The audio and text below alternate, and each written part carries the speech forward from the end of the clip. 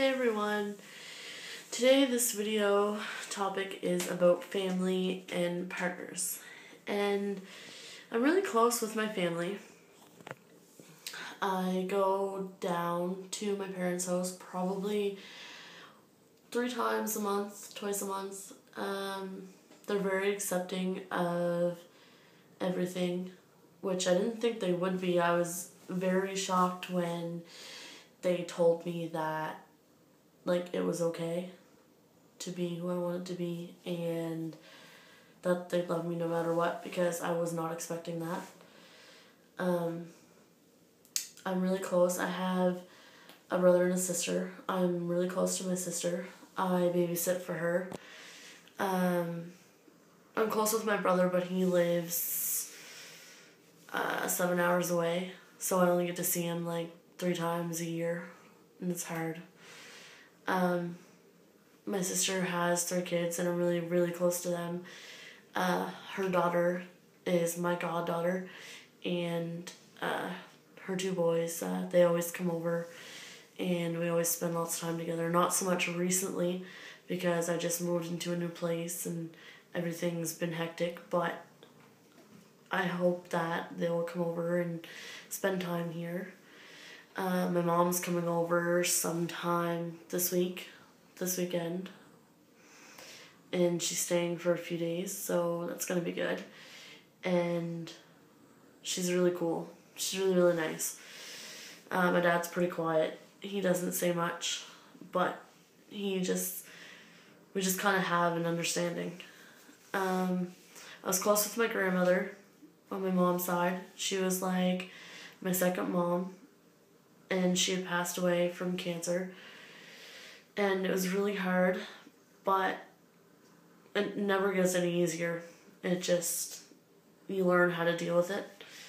Um, and my grandfather is still alive, and we're close, but not as close. Um, my grandparents on my dad's side, they're both alive, and I'm not as close with them but I go visit them. Um, and my partner, which is Jonah, he's awesome. I love him. Um, he's my best friend, for sure. We do a lot of things together, a lot of crazy things, and we laugh together a lot. Um, yeah, that's pretty much it. Um, I'm really tired. I got like an hour of sleep last night and then I slept a little bit today. I look awful. The bags underneath my eyes are awful. Um, yeah, I don't really know what else to say right now. But yeah, I'm really close with my family, which is a good thing. But sometimes it can be a bad thing because they can like smother you. But I'm happy that they're there for me because no matter what I need, they'll always be there and that's I really really appreciate that. And same with Jonah. No matter what I need, he's always there, and we have our upper, ups and downs. I can't even talk. We have our ups and downs, but he supports me, and I, I will always support him no matter what. And he's the one that I go to when I need someone. And that's a lot lately because I've been going through some things, but he's always there, and I really appreciate that.